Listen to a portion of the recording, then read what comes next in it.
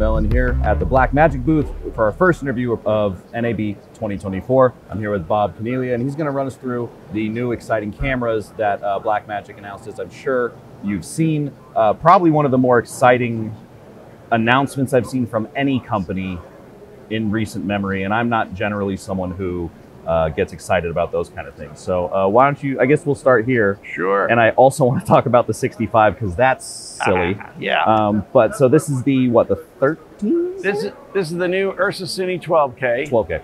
Uh, it's a new 12K sensor for us, so it's large format, so it's larger than the Super 35. And what it does is it allows us to basically we put everything we wanted to put in a camera in a camera. So this camera has the ability to record both uh, Blackmagic RAW and proxies. Uh, we have built-in Wi-Fi, so you're able to transmit directly from the camera to the Blackmagic cloud server, so people can start editing right away. Amazing. Uh, we have three different mounts. We have LPL mount, we have a PL mount, and an EF mount. Uh, it has two screens on it. This is this is the main uh, screen that is fully articulating, spin around.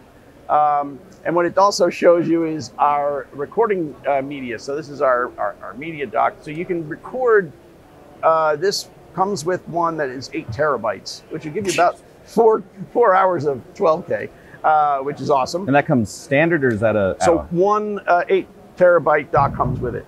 Wonderful. Yeah. So we also have a second screen on the other side. Oh, wow. And so this one, it even has a little shade that you can use. So this one is for the focus Operator. puller, Yeah. you know, so they have, and they can actually make marks uh, on the screen so they can go between the settings. Just with the plus button there. Yep. So there's, That's awesome. yeah. So there And it has the lens name there and everything. Exactly. Gives you all the data.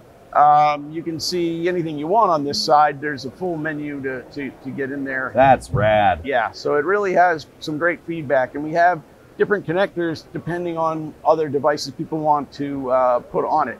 We also uh, came out with a new EVF. So this is the Ursa Right. Cine EVF. And this one, yeah, with the- I was spinning like, around. which way to go? Uh, yeah, so this has a different design. It, it plugs into a locking USB-C port, and uh, the camera is sold in two different versions. Uh, one includes the EVF, so you can get it with the EVF and, and the gear necessary to do that. So it really is a camera that uh, fits a lot of different um, segments you know, for digital film camera, and you, at the 17, cent, uh, 17, I mean 12K sensor rather, Yeah. uh, is able to shoot full frame 12K, 8K, and 4K with uh, because it uses the full sensor to to derive those uh, resolutions. Mhm. And it's got a whole bunch of different resolutions that you can record to. Uh, anamorphic. It, it has a really wide variety of, of things to do. It's it's really uh, a completely different design than the original Ursa Mini. So that's why it's the Ursa Cine, uh, just built for cine work, and here it is. And it does feel. Is the body the same? If, if for some No. reason it feels smaller Now it's a different different body, and it uh, uh, and than the 12K. than the original uh, Ursa, Cine, uh, Ursa Mini 12Ks. Yes, it is a di- different body. And uh, again, it has some different features to it, like the articulating screen and the second screen. Right. And uh, but you know, we we we basically uh, build it with a lot of different um, aspects to it. You know, the built-in Wi-Fi and things like that. Uh, a couple of different lens mounts. The new ND. yeah, there are. Yeah, so it's a it's a mechanical ND filter. Hmm. There's an optical low pass filter on on the uh, sensor itself. Uh, yeah, it's it's um, it's it's a very cool cinema camera that I think a lot of people are uh, uh, ticks a lot of the boxes that people have been asking for. Yeah. So how many stops of the ND? 16. Oh, oh, the uh, ND is uh, 0, 2, 4, and 6. Okay. Yeah. A decent amount. And Um, then 16 stops of dynamic range. wonderful. Yeah. Uh, high frame rate. What's the max frame rate? Let's say it, well, top speed and then let's I say think, 4K. I think at HD you can do 180. Uh, Yeah, 4K is uh, I think 120. So I, you know, it depends on the. There's a lot of different variables Yeah, to yeah. how fast you can go, but it does quite a different, quite a large number of um, of, uh, of aspects and and frame rates and whatnot. Yeah, and so is this something I always ask about viewfinders? This only works with this camera, or is there a way to make the USB go to like a different brand? No, it's designed to work with uh, the Ursa Cine 12K as Mhm. well as our new PYXIS 6K. Sure. Um, let's see. Uh, I'm going to switch sides with you just because I Go have ahead. never actually looked at. Oh, and then the XLR's on top. Yes. That's wonderful. Um, I'm very much enjoying the uh, the AC side thing. That is a very cool. Uh, you got your slate, of course. Is there a new um, kind of firmware for everything, or is this kind of the same uh, Well, so- OS that we're So used to? we use the same Blackmagic OS, which is what people kind of have learned, right? Right. So it's the same kind of uh, structure. Now, obviously, there's different, you know, things. You don't have 9K, uh, right? 9K, Right. 8K, 4K. There's different aspect ratios. But the the way that we get through menus is the same across all the products, which helps people because you know if you move to a if you're uh, you know assistant on one show and, and then you move and they have a different Blackmagic camera, it doesn't matter. You you you know the menus and, Right. and, and so we want to keep that and it goes across all of them. Obviously, there's different uh, settings on this camera than there would be on some of the other ones. sure. And so top speed is 12K 3.2. Right. Awesome. And that's probably where our anamorphic would Uh, be happy. There's also anamorphic down here. Um, oops. Oh, that's that's not a 241 crop. That's that's the anamorphic one. Well, that's there's two four one. There's also and then 6.5, which is rad. I What's the other ones? Um, oops. There's oh I see. When you're in, you get depends on what you're shooting Sure. as to what uh, resolution that you get on all of them, right? Gotcha. So, you know, you get to It move is nice to a that it's dummy proof and it just tells you like that. Well, it. right, exactly. it's like, nope, stop trying that. Uh, Yeah. You're not going to get there. So it, it just, um, there's a lot of different, uh, obviously a lot of different uh, aspect ratios, frame rates, Right. whatever. It's uh, Also, something array. I like is, oops, uh, when you went here, it shows you that that's going to be a.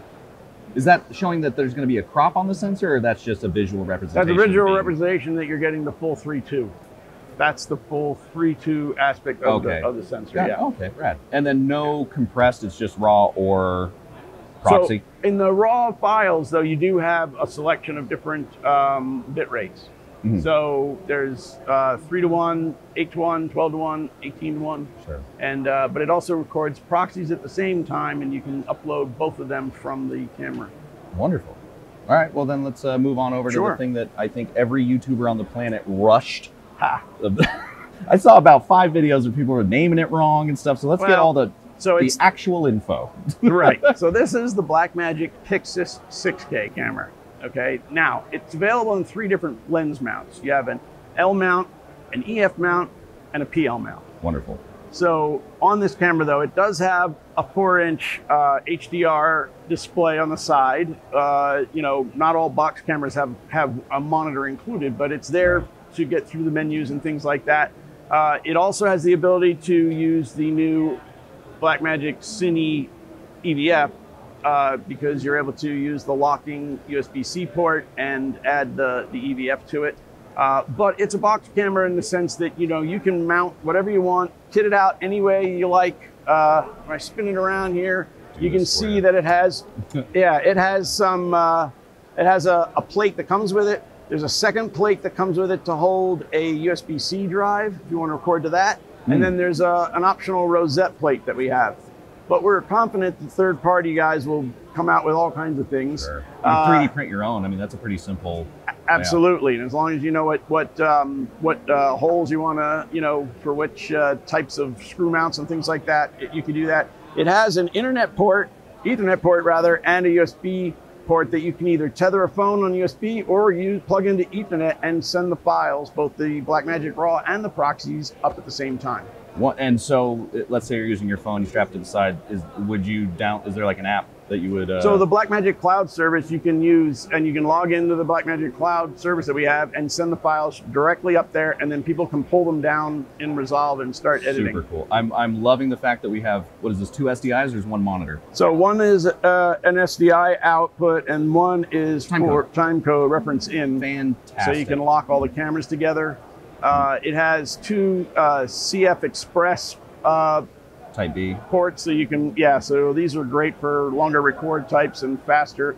But you can also plug in. There's two of them, so that uh, when one say- fills up, it kicks over to the other one automatically. can you do dual? It doesn't do dual, but it does go from one to the other. And then because it records both uh, Blackmagic Raw and proxies at the same time, regardless of how you're recording, uh, you have Oh. that. And then the USB-C port, uh, you can also plug in a, uh, a, a like a, a SSD drive if you want to do uh, even longer recording. Mhm. Um, it has uh, microphone input, headphone jack. It has some built-in microphones as well, um, and it it's uh, it's got the 6K sensor, so it's you know From the frame the from the- 6K Pro. from the uh, Cinema 6K camera. Mm. Yeah, and and it records. Uh, it has an ISO range from 100 to 25,600. Uh, Cool. Dual native 400 and 3200. So Oh, it's excellent. great in low light, and yeah, it's it's uh, got the full range and a lot of the same. You know, the menus are the same as all the others. It uses the the uh, Gen 5 color science with Mm-hmm. Resolve. It comes with a copy of uh, Resolve uh, Studio. Uh, and uh, as I say, you can add a bunch of different uh, and kit it out any way that you want. Yeah. And no NDs on this one. Right. There's an optical low pass filter on the Sensors, sensor, but because you're going to be kitting it out, you can add anything you want. And they're three thousand dollars, twenty nine ninety five for all. So that either- is something of the mounts. I wanted to get into with this and also the 65 is um, what is in the water in Australia? because I I am again not a fan of any particular company. Mhm. However, the release of this and then the announcement of the 65 Yeah. is a fascinating thing for a company to, to just go for the head of the you know two unnamed major uh, companies. Well, yeah. See, we we only look at it like we want to address the needs of our customers, and that's what we've done, right? I mean, we've had a lot of requests to make a box camera for years, Yeah. right?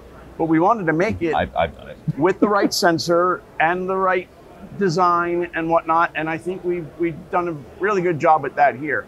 The the the new Ursa Cine camera, uh, which has the the 12K sensor, but this new 17K sensor that's coming is allowing us to do the 65 millimeter. So now you know you can shoot IMAX and you know and I think that we we really do have a wide array of cameras, but we've also have customers that have grown up sort of from the pocket cameras Right. moving their way up and these are two more three more really cameras and solutions that they're going to hopefully all evolve into. So it's really about us keeping our uh, our ear to the ground to listen to what people want. You know we, we we take our time but when we do deliver i think we do a pretty good job. Yeah, because that's the thing that I think is cool about you guys uniquely is your iterative process doesn't uh, kind of mirror some of the other companies that are maybe a little more uh, risk averse and are like, no, we're going to wait for five years before we have something fully fleshed out. Not that you guys don't have something fully fleshed out, but I, I think it's kind of Yeah. cool that you go like, let's get the sensor in a body first, and then we'll get the body, you know, so that every and then the prices keep coming down. Like they're so affordable and so good. right Um, it's it's a cool approach to an otherwise uh, conservative um, cameras are otherwise conservative. and we're trying to give people different options like the the cinema 6k camera that we launched before because it came in a similar body to the pockets you could use some of the uh, accessories that we had for the pocket right. but it also it's you know it's handheld handheld you know this is a little bit different because it's going to be rigged with you know more for you know tripod work really than not so much handheld but it but because you could have both of them you're going to get great matching images and you know it it really is uh, just another step. None of them seem to replace anything. They augment and they fit in different spots. And i think that's one of the things that we, we try to do is give people more choices and that's where we are. Yeah, and uh, obviously the response to these has been huge. Um, when do when do we know more about the 65? I'm just uh, yeah. I'm shocked by that camera, so I, I'm Right. trying to milk as much as I can out of yeah, it. yeah. I mean, we're we we have uh, sort of an end of year timeline on that one, so we'll see how that goes. Uh, yeah, it, you know, it's a little bit against our usual announcement in terms of talking about something that's that far out. But we wanted to give people an idea of where we were headed, and Sure. I think that really does give people an idea of where it's going for those that are really looking for that larger format Yeah. uh, sensor. And you guys make your own sensors. You're not sourcing them from another company. Right, we design we design them Or- yeah. ourselves, and uh, the 17K has been in development for quite a number of years. Mhm. Um, but you know, it takes time to develop all all of the rest of it. Same with the 6K as well as the the new 12K because there's there's uh, there's actually uh, the sensors are out on a tray out there to show you what the 6K Oh, cool. sensor, the new 12K sensor, and then the 65. So it's you know it gives you a, an idea. of, You know, this new 12K sensor we're using is larger than the original one. And Oh. so that's why we're able to get some other um, resolutions and, and whatnot out of it. Oh, that was one one thing I was going to ask about this. um, was I remember on the 12K Ursa Mini, Mhm. uh, for sort of the best, let's say, image, it was best to shoot 12K and then bring it down in post versus the, um, you know, shooting 8K, which did film the full sensor. But is that still the case here, where it's probably preferable to do that, Uh, or yeah, I mean, to me, it's like if you can shoot the max, then you may as well. And that card that we have, the media that comes with it, you can shoot four hours at 12K. So Sure. know, that's a lot. So yeah, I, it gives you the thing that I like about when you shoot 12K, even if you're going to only finish in 4K, is that you basically have a steady cam because if you Yeah. shoot and you want to you can either zoom into the different areas but if you shoot handheld you can just use stabilization and it'll look like it was shot on on a steady cam so Right. there, there's definitely some great uses for it the other thing is you know shooting wildlife or whatever you don't have to get so close Yeah. to the lion Or, I mean, the thing that I always say is like, and I've said this since 4K came out, is like, if you have to shoot a high ISO, the higher the Ks, when you display it, that all that noise gets averaged out. Right. Yeah. And actually, we have some new tools in DaVinci Resolve to deal with noise uh, that are AI uh, uh, influenced uh, noise reduction. And so I think you know we that's the best part about it is that we have the ability. We have our own codec, our own camera, and then Resolve, so that they can all work together to get the best results. Yeah, I, I over the I'm normally a DP. Over the pandemic, I kind of pivoted to being a colorist, and uh, man, the some of these updates that you guys put in Resolve are, are excellent. The specifically the unfortunately you took my friend Jason Bodach's program with the uh, the he calls it hue shift. What you're the um, color density tool. All right. Yep. That was an excellent addition. The uh, film thing, you know, was an excellent addition. Uh, I was playing with them before I came out, and I, I'm, I think those are. It's always just awesome to have native tools that work really well, Right. and you know, give you a, uh decent playback. And and like the halation looks really nice versus some of the other ones where it Sure. kind of looks like an overlay. Like it looks much more natural. So I mean, you guys are just killing it, and I don't tend to fluff people like that. Ah, well, I mean, look, it's uh, a lot, a large team. They do a lot of great work, and it's been a long time, and, and we never stop adding. Yeah. Oh, uh, I did want to ask. So this this hard drive does come out, right? Yeah, yeah, I can show you. Is there a? Can you put other modules in there? There's like a dock. CF Express. or No, no. th- This is designed for ours, and Okay. and we have we're gonna have a dock that you can uh, mount them. Uh, Okay. Mount three of these. But it's just these hard yeah, drives. and Okay. there'll be eight and uh, and um, sixteen terabyte modules that you Mhm. can use. But you could also use uh, SSD drives and connect it uh, USB. through USB. Wonderful. Yeah, sure. Thank you so much. Thank Uh, you, again, guys. wonderful job and uh, very Thanks. exciting. Take care. So these are the various sensors here. That looks like Super 35 full frame and the really nifty 65 millimeter sensor. But one thing I was told as we were walking away from that interview as a little addendum is that uh, the Blackmagic camera app is coming to Android. Not yet. It's not out. A few weeks, maybe a month. I don't know. That uh, I didn't get a full timeline. It's not out yet. But for people like me who are on Android, Blackmagic camera app uh, is coming. So that's very exciting. Uh, yeah. Once again, Blackmagic killing the game. We're gonna go on to the next.